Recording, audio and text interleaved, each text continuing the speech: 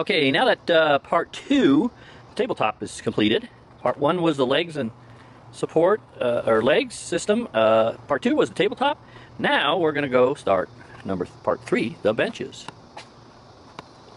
Okay, I had some 4x4s that I've already squared off left over from the legs on the table. I'm to use them in a similar design to do the leg uh, legs on the benches. So right here is the uprights for the end of the bench. I'm to go ahead and build one bench, go through that, but I'm going to end up making four benches, two six footers and two four footers. Table's 10 foot long, and I'll start out, we'll put, walk through the steps of building these six foot one here.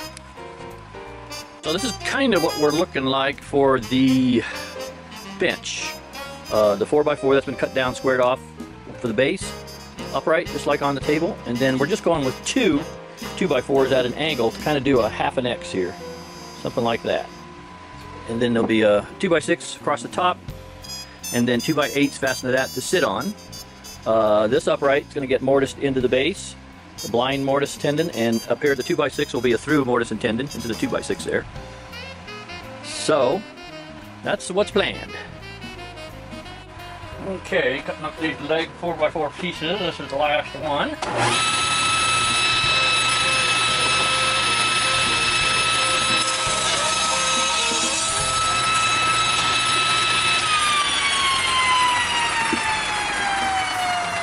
Okay, there's two sets for the first bench, and I got one extra bottom piece out of the 4x4s I already had. So now, next step, I'm going to put a blind mortise and tenon on the bottom of each of those. Okay, I just marked off uh, where the mortise is going to go, center of each one. It's about 1 and 3 16ths square. The center of the block is going to go inch and a half deep. So now take it over and set it up on the mortise machine. Okay, getting her set up in the mortise machine. I've got my fence set good this way for this back edge here. I've got it chisels in there square. Uh, need the uh, hold down here. Tighten that down. I already set the depth. My depth stop here, inch and a half deep, so I think I'm just about ready.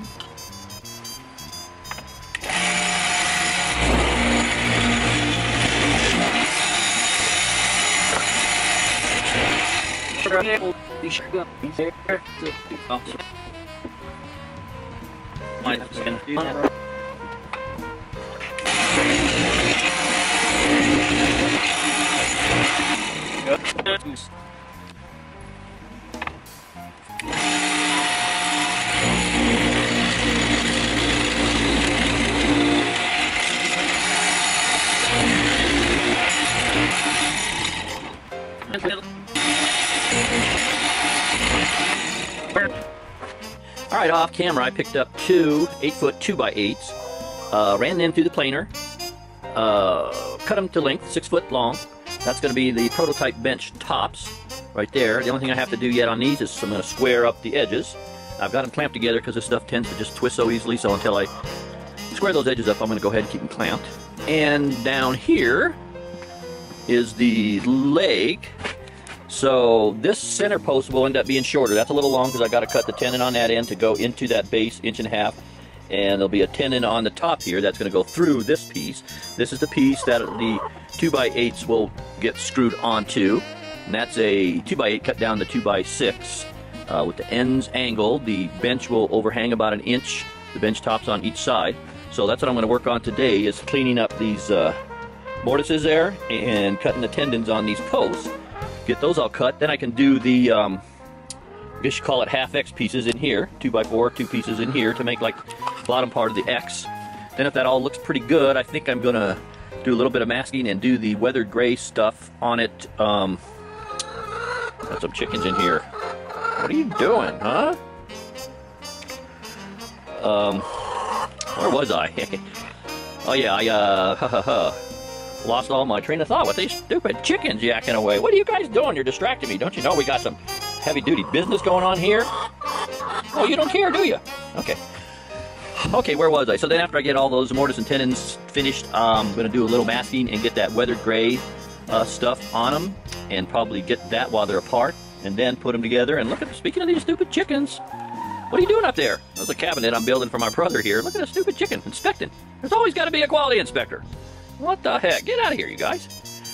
Man, the distractions this morning. So anyway, we'll weather that, that gray weathered look before we uh, put those together. I'm going to epoxy both the mortises.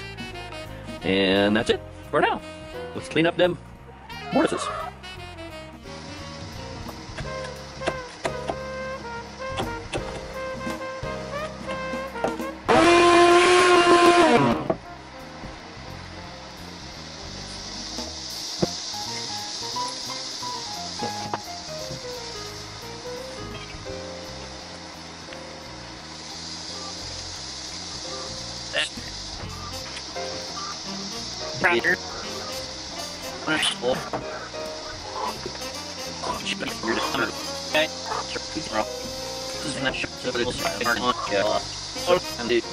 Okay, I just made the uh, cheek cuts with the Incra here, going all the way around to the depth that I had uh, marked off over there. Hopefully that's good. Now I'm going to get out the tenon jig and stand it up in there and zip them off this way. Okay, let's try the first cut here. Hope I got everything set right. Just tighten down. Can't use this uh, clamp that comes with it because I think because of this half inch uh, sacrificial piece of plywood I have in here, it just makes it not open up quite wide enough. So, no problem. Clamp's got it held tight. Back on. Saw on. Height's already set. See what we get.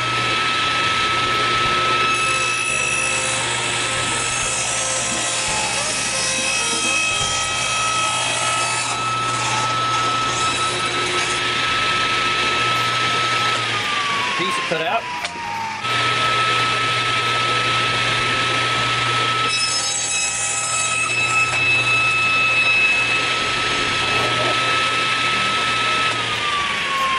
Okay, hopefully the final cut on this first one here. Uh, I mean, let's some here. It's artsy. Yeah, you can- yeah, we're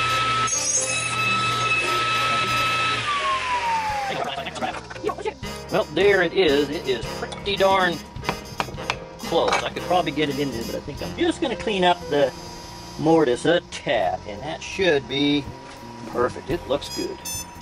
Yeah, let's just clean the mortise up a tad first. Work on that. Okay, let's give this a shot now. Yeah, oh yeah, that's pretty smooth. Oh yeah. Now I got a little gap here. That's the only side because I believe it's out of here. Yep, that's the side I've got a little bit of a edge here. I'm not sure how I got that left. So chisel that down and we'll should be in business. There we go. I did it. Flush. Good, good, good all the way around. Cool. One down. Yeah.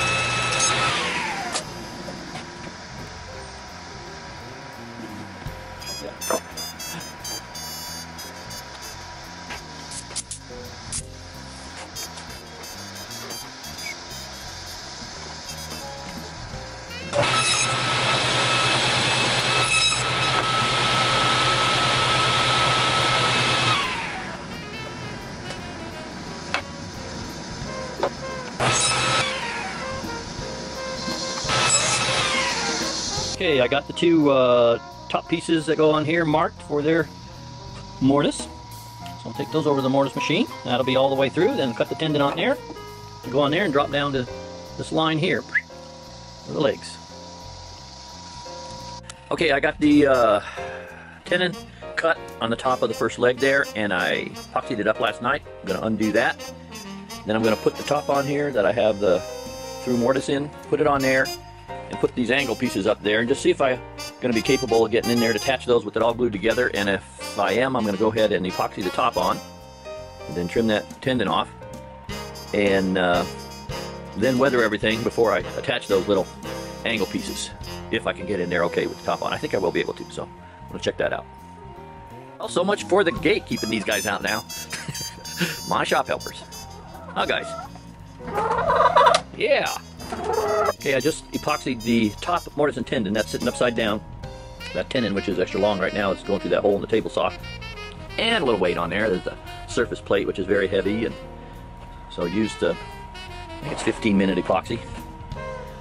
So then we can sand it all and get the weathering on it and sand the little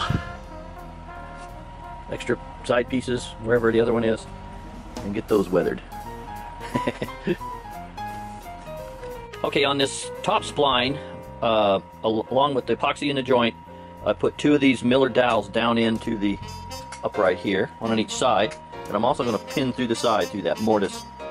Uh, possibly, I don't know. That's I'll have to get a bigger one. I'll have to make sure on that, but I put it down this way with that foaming, expanding Gorilla Glue and epoxy in the uh, mortise itself. That right there is probably going to be plenty, but if I can get one of the longer ones going in this way through that center here and into the dowel, I'm going to do that as well. Okay, I'm going to put this last uh, pegging in here, going through this mortise, 2X Miller dowel here. That's the oh, and I'm not easy my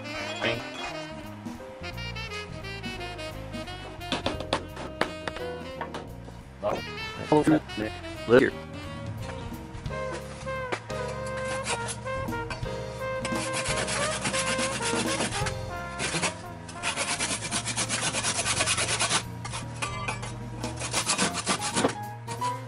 Hold this thing.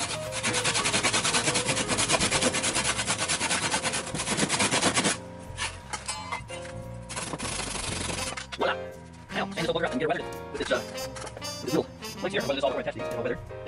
And more. Moving right along. All right, here's the first uh, bench X, modified X leg, uh, weathered. No marine varnish on it yet, which is going to darken it and kind of brown it up a little bit. These are not attached yet. I'll be doing that here soon, but everything else is epoxy pinned down here, pinned through there, pinned through the back there. And I'm working on the other leg. I've got uh, the finishing up the second little X piece for it there. And I just got to cut the tenon on the top for the other leg. Uh, everything else is done. This mortise and tenon is done. Uh, the tenon is, or the mortise is cut in the plate for the other one. Just got to cut the tenon. Okay, I did a little five minute epoxy on the bottom here. Bottom blind mortise and tenon. That's set up. I'll go about 15-20 minutes. Unclamp it. Then we'll epoxy this piece on. Alright, got the top epoxied on. It's upside down here. That's the base we did earlier. Got that through tenon going through the hole in the table saw here and the weight on here, that surface plate to hold it while that epoxy sits up. Then we'll flip, flip it over and peg it.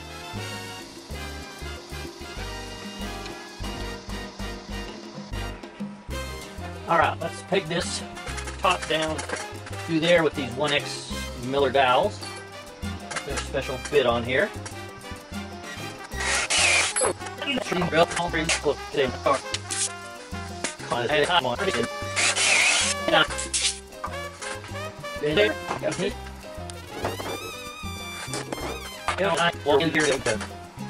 Okay, now I switched over to the larger Miller valve bit, put the larger one in here. Yeah. Oh. Oh.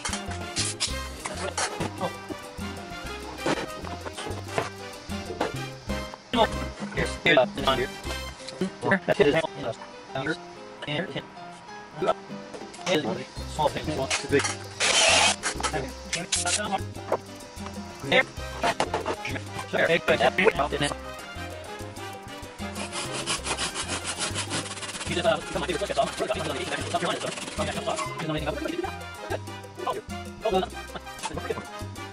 All right, there's the second leg, all ready for, well, got to sand it a little bit, and then I can weather it, make it look like the other one. All right, I got the second leg, which is this one, weathered. Uh, these uh, gizmos mounted, so it's caught up to that one with the exception of just plugging the screw holes here in these things. Then it'll be ready for some marine spar varnish. It's a rainy day today, so I don't know if I'm going to get that done or not. I might be able to set up a little booth out in the little weird pole shed, so we'll see. Right here are the two legs for the prototype bench with two coats of marine spar varnish, and here's the little center brace uh, so far. Looking like a good match to the uh, legs that are already on the table. And I got the first coat of marine spar varnish sprayed on the tops of the bench here, the two 2x8s, six foot long. Chickens are helping. Alright, uh, now that these legs are done, I'm getting the holes for these caps that go on the outside, where the uh, Steel-Tech pole is going to go between the two for the stretcher. This is going to go on the outside of the legs to make it appear as though the pole is going clear through the legs. So drilling a, uh, what is it, 7 8 inch hole, which is a little tight, and I'll put some epoxy on these and then tap them in the hole. Then we'll flip it over and put the pole mounts on so these will be going same height on the other side, right in the center. Those are the mounts for the 3 quarter inch steel pole. Okay, I already measured up 9 inches, got my hole mark center punch there. 7 8 spade bit, and I gotta go 13 sixteenths of an inch deep.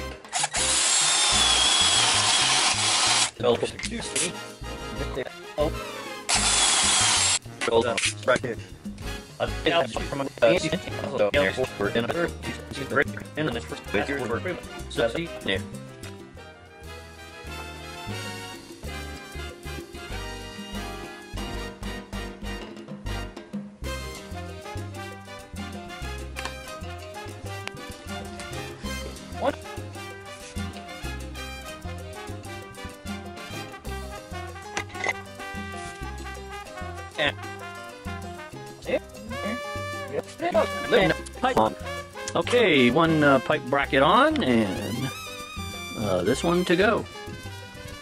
Okay, got my height and got a mark there for the center of the pipe to match the uh, cap on the other side. So I'll just look down the center of this and kind of line it up.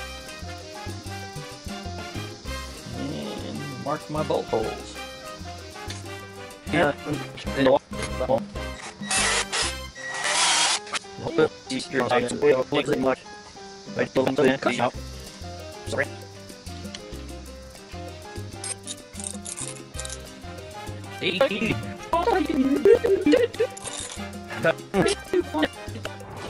Alright, now I'm going to cut the uh, pipe length, hopefully.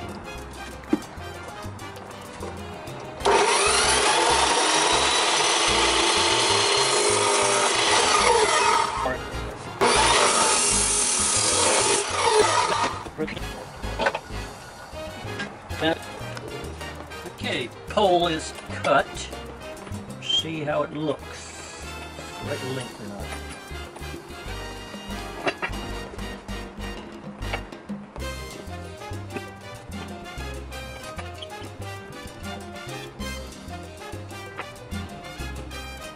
Okay, crap.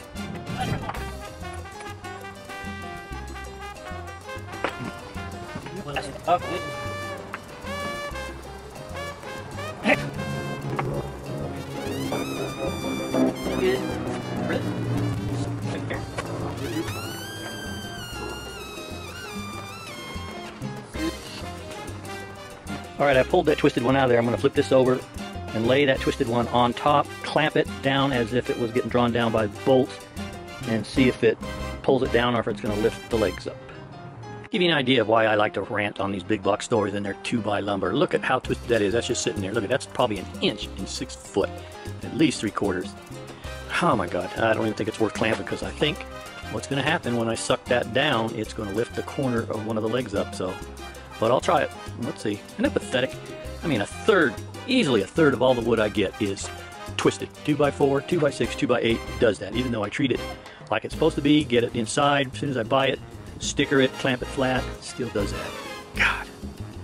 Okay, it's clamped flat, and here's what happens when you try to use that twisted wood. So this thing was perfectly flat before I clamped this twisted one. Now look at this. Wobble, wobble, wobble, wobble. Hopefully you can see that. Oh my god, so can't use that. Slim chance I'll be able to use one of the four foot ones. Quite as. Alright, yesterday I picked up the wood I need to make the other three benches and enough to remake that twisted piece. And hopefully we won't get too much twisted out of this. Got three 2x8s and two 4x4s, all 10 foot long. Alright, I got a new 6 foot board that's not twisted, processed through everything, and got it mounted. So I've got the one or first six foot prototype bench done. And I am making everything the same. One thing I'm changing, we'll go in the shop and I'll show you that in a minute, but there is the bench. Pretty happy with it. One change I'm trying out, and I think I'm going to go forward with on the rest of these legs, instead of the uh, through mortise intended from the uh, leg upright to the top plate, I'm doing a one inch hardwood dowel. So I've got that already epoxied in, and uh, then the plate will go on top, epoxied in, and cut it off, and I think that's going to be just as strong as the through mortise, and uh, a lot quicker, and uh, all that stuff. So, okay, finally getting the last of the benches put together here. Getting, putting together the two four footers this morning. And then this whole project will be done. Table and benches. As you can see, right over here and here, the old uh, Homestead farm table has been used as a ping pong table the last few nights. Works pretty good for that. It's not regulation size, a little longer and a little narrower than a ping pong, but it works. So anyway, let's do some legs here. Okay, I got the far end there propped up with a piece of 2x4. I'm going to drill the guide hole, the holes for the four bolts on each end. Uh, got lag bolts going through there, so I want to drill a hole so it doesn't thread in the leg part, just in the top part.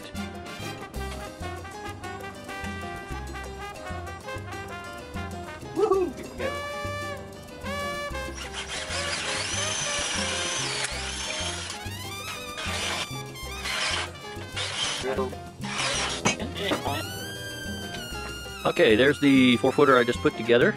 And what's odd is the way it worked out, I think actually those two boards, no, they actually didn't come from the same. They look like they do, they match pretty good. Anyway, one more four footer to go and we can wrap up this bench video.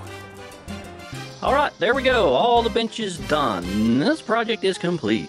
10 foot by 45 inch table, uh, two six foot benches, two four foot benches, uh, the X legs, and on the benches, the half X legs. Uh, what else? Uh, marine spar varnish on everything. All of the the top has 10 coats of Epiphanes, and the rest of the wood, which was weathered, it's all Douglas fir. I used that weathering on it, and it has marine spar varnish, at least four coats on all of that. And there we go. One project done.